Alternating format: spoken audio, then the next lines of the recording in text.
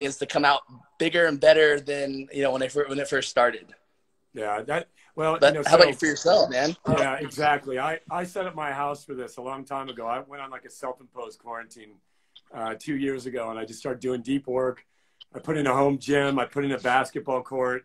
So I'm I'm set up pretty good, and I have a team here working. So it's it's not been that bad. Dude, I- I have missed, you know, some of the social things that I got, you know, that I do and hiking and some of that stuff that I'm not able to do anymore. But other than that, you know, Yeah, it, but I, I feel like it's our duty to, you know, we just got to stay at home and do our best Yep. and get better through this and come out stronger, smarter, obtain a new skill, whatever it is, right? That's our duty, right? one hundred percent. Yeah. And that's exactly how I'm looking at this too. Is like I remember when 2008 hit, and a lot of people were scared, and there's a lot of like craziness going on. And I mean, so many big businesses have boomed during that that Yeah. last recession because you know we have nothing but to just focus on our strengths and just our, our basic skills that we could take us to you know develop the next big thing. Yeah. Well, And I'll so, tell you, I yeah. went through that when I went through that recession. It was it was scary, right? The housing uh, sure. market collapsed. Uh, a lot of us had things invested. My company went from two and a half million in monthly recurring sales down to six hundred thousand, and we nearly went bankrupt. Um, but now I'm leaning on what I went through during that time. And so, Mm-hmm. you know, to everyone out there, if you haven't gone through recession yet, don't worry, you're going through one right now. And Yeah. 20 years from now, you're going to look back at it and you're going to lean on these times. These are the times that are going to make you, and these are the times that are going to define you. Uh, the 2008 recession is something I'm leaning on right now, but no doubt this is going to be worse than that. That's for sure. So, you know, but there, as you said, uh, great companies are born from these types of times. And the reason why is because the competition is retracting. So big companies that were doing big things now have to lay off people. They have to cut facilities, cut contracts. They have to do all kinds of negative work, right? They're not innovating. They're not creating. They're not launching new products. They're not, you know, they're like looking in the mirror. CEOs are saying, mm-hmm. how am I going to get through another day right now? And I know that because I've been there. So if you're a starting out entrepreneur, you know, you have an opportunity right now to, to do things that other competitors can't do. Like you have nothing to lose where everybody else in the marketplace has everything to lose. hundred percent. In fact, I mean, I think one of my businesses are one of the, the few right now that are actually flourishing right now because everything I do is all based on social media and everyone's at home on their phones. And so Yeah. for me, business is, you know, doing extremely well. But like I just had my buddy that had to lay off about 80% of his employees. Yeah. Yeah. They're, it, you know, it's, It's, going to hit everybody. Um, but there, there's, there's Yeah. no, it's certainly, um, there's opportunity and you just got to play the long game here. So, you know, the, uh, the good news is, For sure. you know, this is, this is an event that's affecting everybody in the world simultaneously. And so it's not just affecting one region. And so the goal's got to be, you know, to do the work that you can do internally. So that way, as things start to go back to normal, whenever that in position to have more energy, more vitality, and be able to do the work uh, that you know that that other people can at that time. So a lot of people are wasting their time. A lot of people are falling into fear states. Alcohol consumption's up fifty five percent. Yeah. Um, porn consumption is up. Like all kinds of negative things are up right now. And so all the self-destructing things are up. yeah, yeah. You you gotta you gotta realize if that's where everybody's going, and you do the opposite of that. You always want to do the opposite of what everybody else is doing. Yeah. So, you know, um, and so that's, you know, right now is opportunity to exercise restriction and, to, you know, and to restrict your alcohol intake or eliminate it, restrict those types of things and do the work. Read the books, pick up meditation, pick up breath work, you know, work out like you never have before. Don't make the excuse like, well, I can't go to the gym, so I'm going to gain 15 pounds. It's like, I, you know, I, I was in juvenile hall when I was a kid. I would do a thousand uh, sit up, push ups and a thousand sit ups every single day in that jail cell. Uh, and so right now, Yeah, your know, workout regimen must have been crazy. Yeah, yeah, hundred percent. So every day, uh, you could be doing the work right now. You have the time.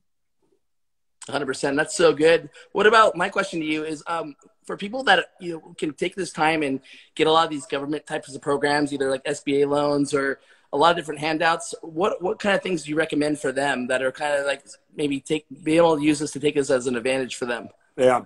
Well, if the government's handing out money, get it. And if it's Yeah. low income money and the CARES program, the loans will turn into grants. Like a number of people have made fortunes off of going after government money. But what's really going to happen is uh, money has been redistributed. So money's been taken out of the, the United States government treasury, out of the taxpayer, and it's being redistributed. And so there's going to be people that figure out ways to profit from that and provide services to those who have, who have received money that perhaps they haven't otherwise. Some people are getting more money now not working than they were when they, when they were working, right? So there's opportunity out there uh, because of these programs.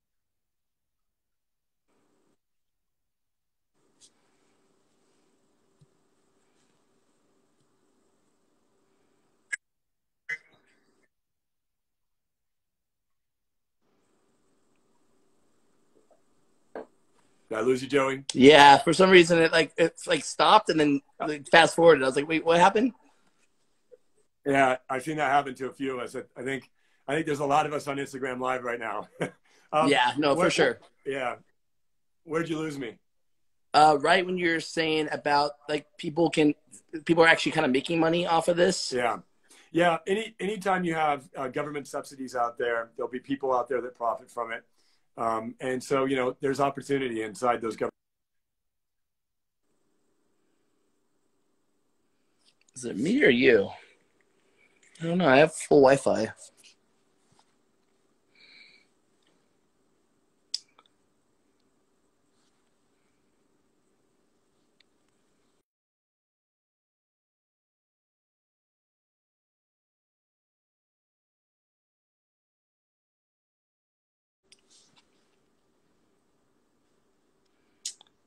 Think I lost him.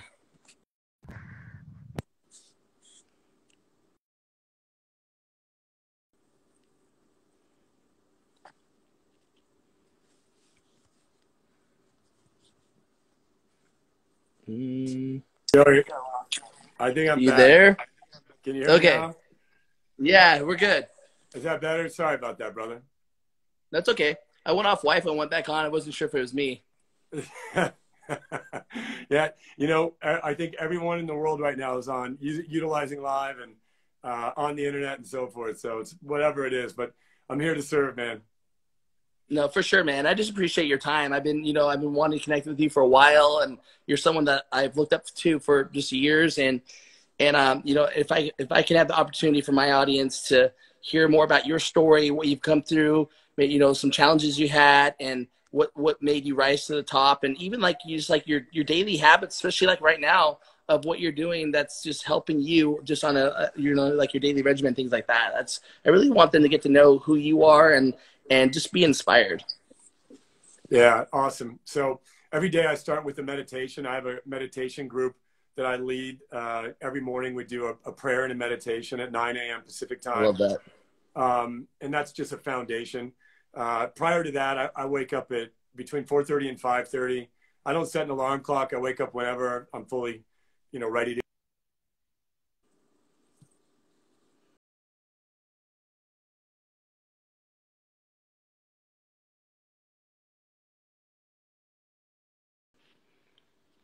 Uh, we just lost him. Let me see if I can get him back on here.